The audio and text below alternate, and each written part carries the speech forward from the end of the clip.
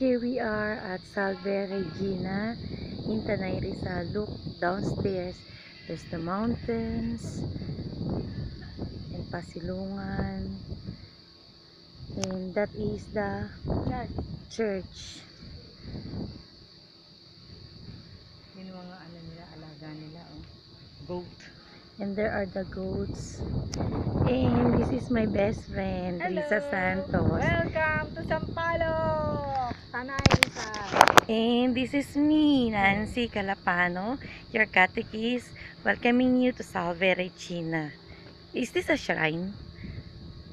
Yes. Ano Okay. no, no, it's not a sign. Hello. Um, okay, it's something here in Tanay Rizal. Oo. Nagkausap kami ni Tita Olay kanina bago bumalik. Nandito ako sa Tanay pero bababa ako ako. Kasi And there is mother up above eh. There. So high in the sky. Oo, tomorrow. Tawagan mo siya kung anong oras darating. Kung malamang bago